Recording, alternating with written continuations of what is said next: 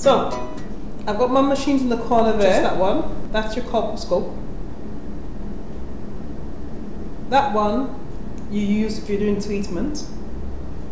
And that one I tend to call a stack system. But basically it's just your camera and your computer screen so the doctor can see and sometimes the patient if they want to can watch as well. If they're the kind that are squeamish, please don't let them watch. They just feel faint and sick afterwards. Just tell them to look away. But some, some of them are quite brave, so whatever suits them. Okay? So those are your three machines. I'm just going to bring a couple of them a bit closer so you can have um, a look at them. And I'm going to start with just the basics, just what you would need for a colposcopy without your so, treatment. This is your colposcope. Your colposcope is just a magnifier. It just makes everything nice and big so you just can see where he's going. Your colposcope. To set it up, now this is where the light comes out. So this bit goes towards the patient. The doctor looks through here. And on this side, you actually have a little knob where you can attach your camera. But turning around so you can actually see it. There you go. So your camera goes just there. See? That's your camera spot. First of all, I'll show you the other machine, and then once I've shown you the other machine, I'll show you how you can connect both of them. So that's your colposcope. Doctor looks through there. It's a magnifier. It doesn't go inside the patient. It's just outside, just to reassure your patient. It's not going to go in him. Nothing like that. Yeah. Now for this system, what you actually will use, you got your monitor that you can watch things on. Okay, so let's go plug things in and have fun. If you hear that little sound, it's because as soon as I plug the machine in, the printer is directly connected, it comes on. However, it's not the same for the others. Green button down here, see that? That puts everything else on. That's your power source, that's your mains. So, got a little door here little hidey hole and that's our camera. To keep it sa safe, there is a little bit at the bottom. There we go. See that black bit there? There we go.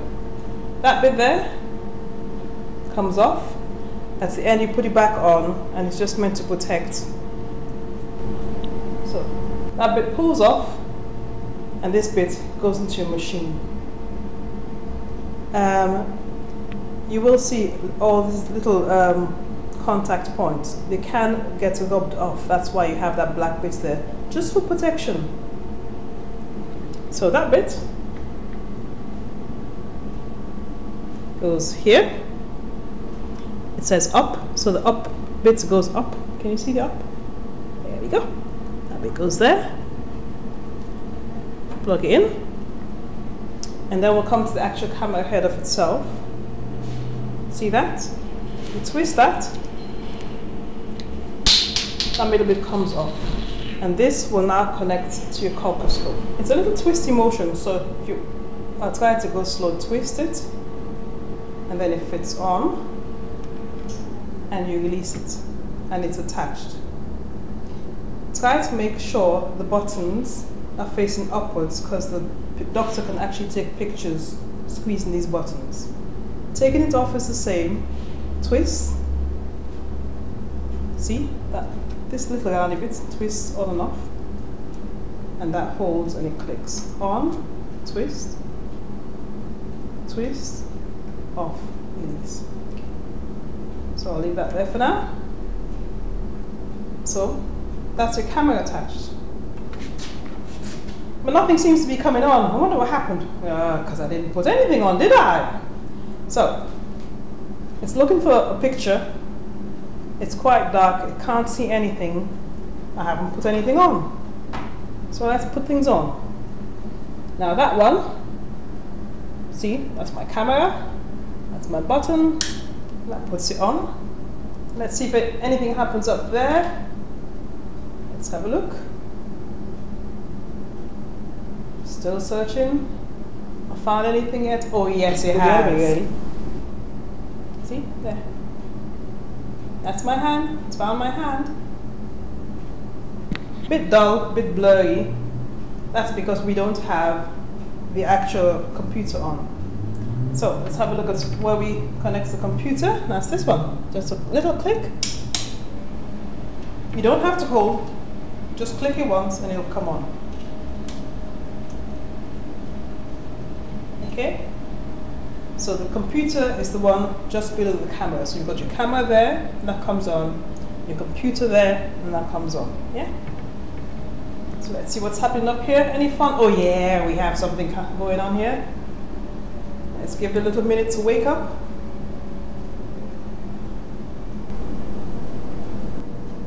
There we go.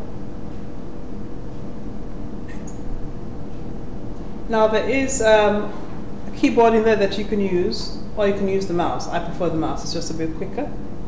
So let's make sure you can see. Now, once this comes on and you have this whole list of names, you don't really need all the names. You want to put your own patient in. So click the red cross, which means I don't want you, go away. Thank you very much.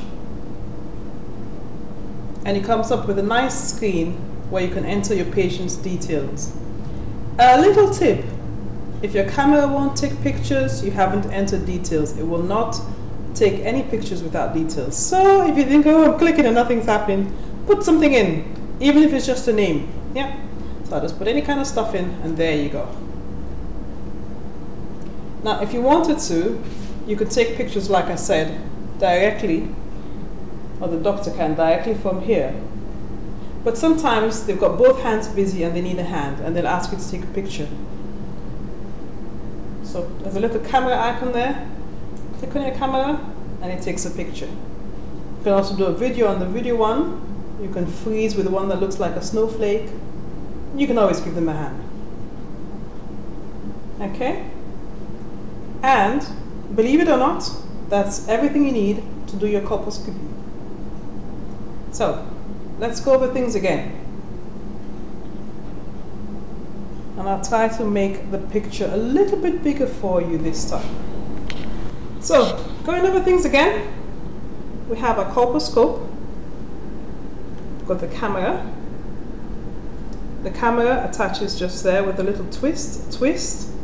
You can use both hands. I'm sorry, I tend to use one hand. It's just I'm used to it. But use both hands, twist with one, hold with the other, slot it on, and release. If you do ENT, it's the same like um, the scopes in ENT.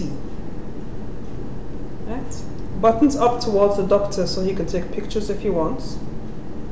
And that's your camera connected to your colposcope. You don't have to do anything else with this. The doctor will do everything else. Just plug it to the wall. plug it to the wall, please. And the doctor will do everything else. So, then we come to our stack system. You remember I took the camera from in there. I plugged it in there. I put it on there. And then my actual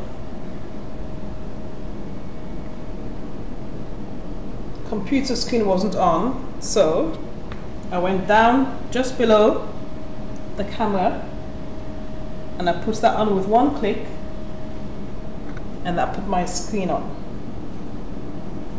Okay?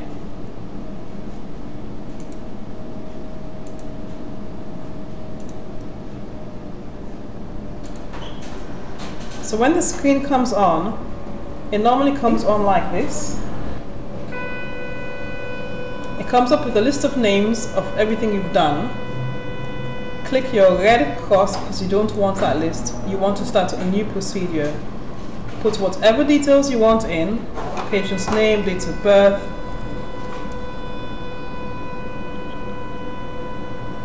and then you can start to take pictures. So you take your picture,